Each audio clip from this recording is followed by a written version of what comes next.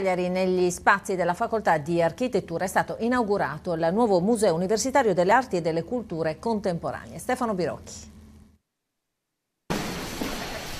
Ogni forma è un volto che ci guarda e siccome ci guarda, noi dobbiamo imparare a guardare. L'insolita donazione in vita dello scultore Italo Antico, protagonista di spicco del rinnovamento artistico in Sardegna fin dagli inizi degli anni 60, è l'ultima di una serie di acquisizioni di opere dei più importanti artisti contemporanei sardi e non solo, avvenute a partire dalla fine degli anni 50. Custodite finora dal Dipartimento di Lettere e Beni Culturali, da oggi compongono la collezione permanente del MUAC, il Museo Universitario delle Arti e delle Culture Contemporanee, inaugurato negli spazi della Facoltà di Architettura in via Santa Croce. Vogliamo che eh, eh, la storia dell'arte sia posta insomma, al crocevia di diverse eh, discipline e, e, con altre discipline si confronti, quindi mh, mm, non organizzeremo soltanto eh, eventi espositivi ma anche convegni, seminari, tavole rotonde, insomma occasioni di dialogo. Questo è anche un museo per gli studenti eh, pensato per l'attività didattica. Qua ci sarà l'opportunità di fare eh,